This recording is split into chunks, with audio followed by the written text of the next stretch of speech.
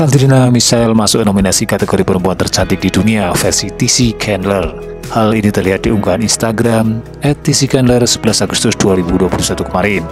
Melihat kabar tersebut, banyak penggemar Sandrina yang berbondong-bondong menyukai dan berkomentar di unggahan TC Candler. Masuk jadi perempuan tercantik dunia versi TC Candler. Seperti apa pesona Sandrina? Yuk kita tonton.